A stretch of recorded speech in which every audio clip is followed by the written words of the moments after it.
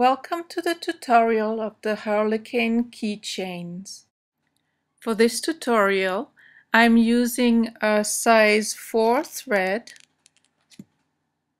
a hook J10 or 6 millimeter, scissors and beads about 1 inch in diameter.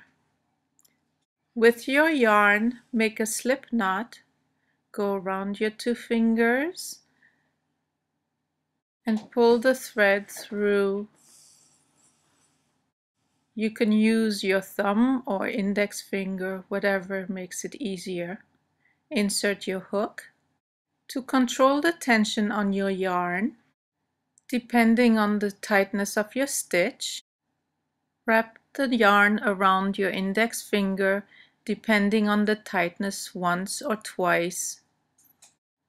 To make a chain stitch, Pull the thread through the loop. This is your first one. For the next one, do the same thing. Pull the thread through the second, third. Make a total of 20, fourth, fifth, sixth. Pause the video whenever you need to.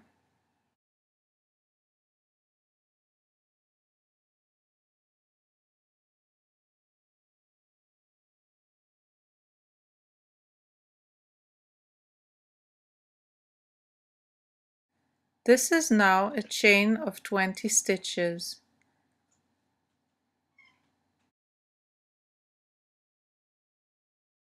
Make one additional chain stitch for the beginning of the next row.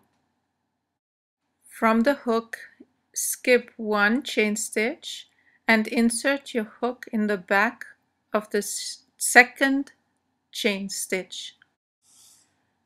Grab the yarn with your hook and pull it through one loop and pull the thread through two loops.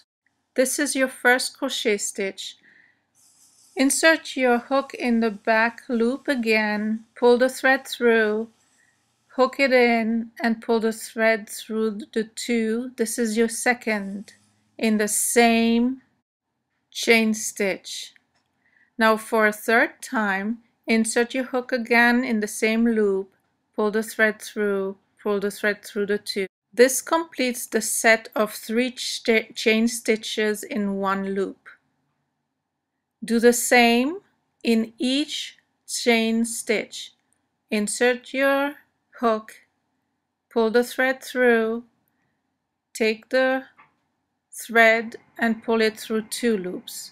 Insert in the same chain stitch loop, pull the thread through, and for third one in the same loop, and pull the thread through.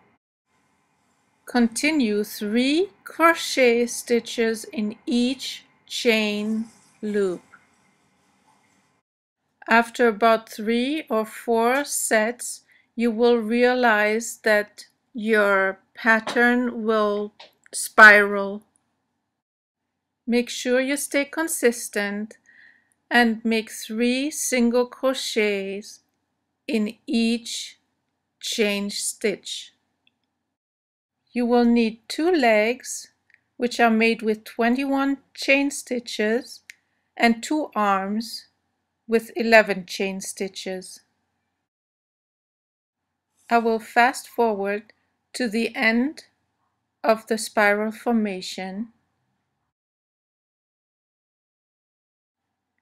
Sometimes the chain stitches are a little tight. You'll just have to be persistent with it and the loop will get wider. For the end of the spiral, you will make a slip stitch. You insert your hook in the last loop grab the thread and the tail end and pull it through both loops right away. Cut your yarn and pull the rest of the yarn through. Now adjust the spiral in the direction you'd like. Pull the strings a little to tighten them. For one harlequin, make two legs and two arms. Group an arm and a leg together on each side and hold the strings. Tie the two sides together with a knot.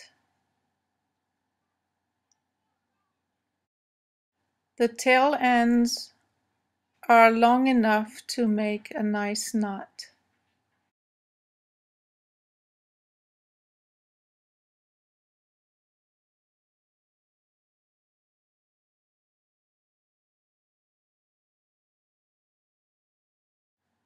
Now make a loop with one side of the strings.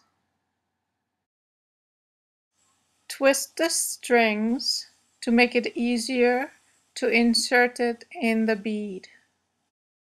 Insert the twisted yarn in the bead, into the bead hole. To make it easier, turn the bead as you move down the yarn.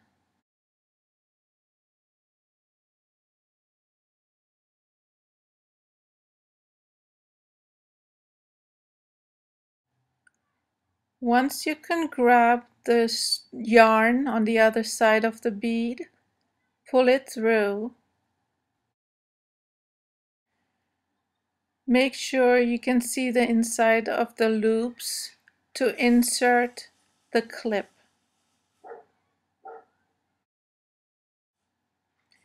Insert the clip through the loop hole and pull the strings into the clip. Adjust the strings and tighten with a knot where you will cut off the ends to make it look like a butterfly. I hope you enjoyed the instructions and please leave a comment.